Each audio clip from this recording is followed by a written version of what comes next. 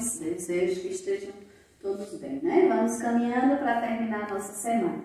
Hoje, quinta-feira, vamos dar uma pausazinha em matemática e vamos para o conteúdo de ciências bem interessante, ok? Vocês vão amar ouvir falar desses animaizinhos aqui.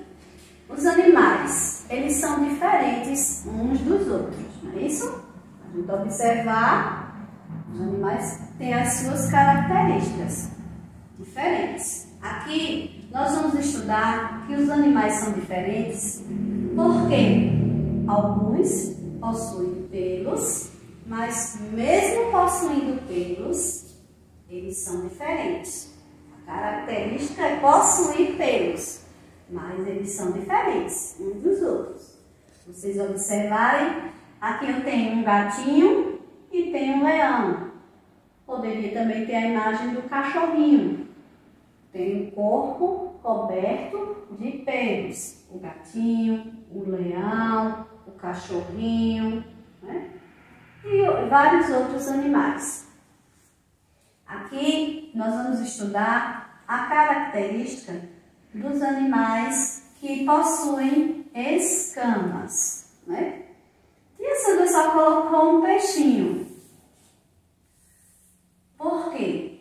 Porque o peixe é o animal que mais possui escamas. Ah, tia Sandra, e o tubarão, ele possui escamas? Veja só, tia Sandra viu e leu e achou bem interessante.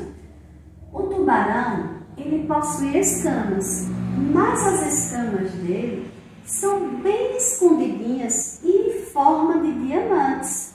São pedrinhas escondidinhas. Por isso que o tubarão não é considerado um animal que possui só o corpo coberto de escamas. Se você observar, quando mamãe comprar o peixe, vai lá pertinho dela e vê ela limpando lá. Quando ela passar lá o, o ou o objeto próprio para tirar escamas, voam aquelas calisquinhas bem fininhas, que são as escamas do peixe. Já o tubarão, ele é liso, então estão bem escondidinhas as escamas dele, certo?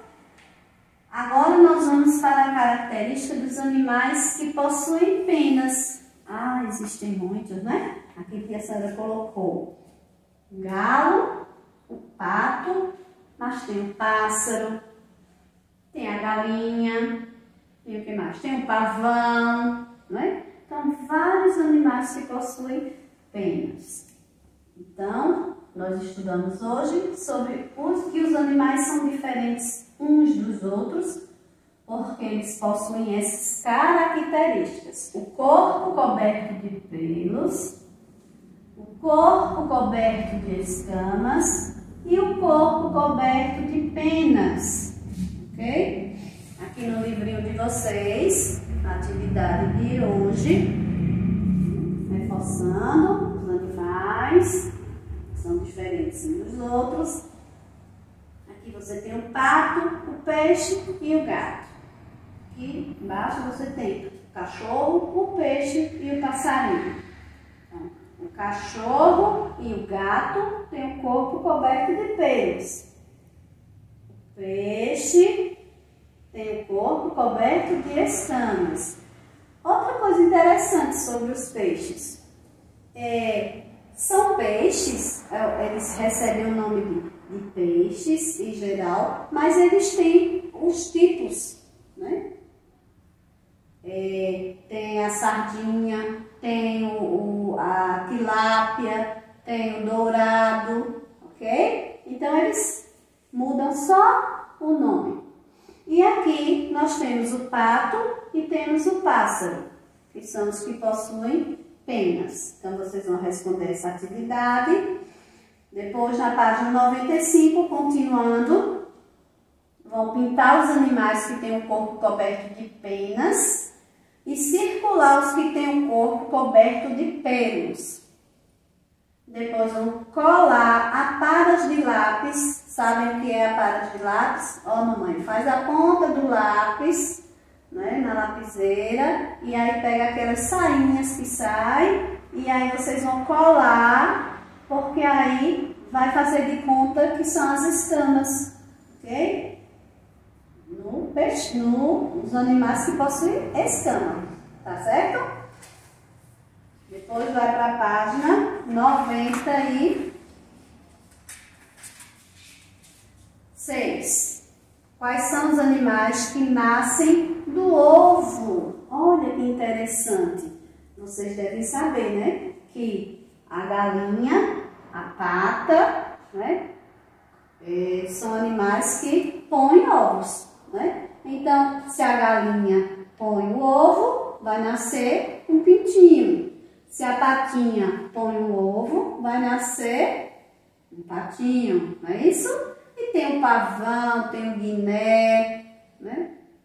E outros, os pássaros, né? Os tipos de pássaro, louro, né? A louro, o louro sendo fêmea, ok? Então, vocês vão descobrir aqui, entre esses, quais são os que nascem do ovo, tá? E vão pintar.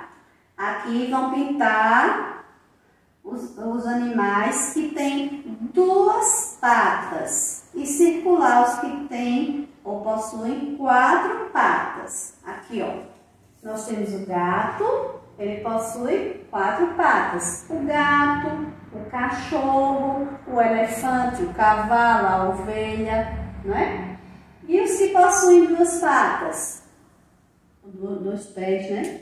Duas patas a, a, o galo, a galinha, o pato, não é? o pássaro, ok? Então, observe direitinho para responder essas atividades de hoje em relação aos animais, ok? Pronto, boa sorte e até a próxima aula.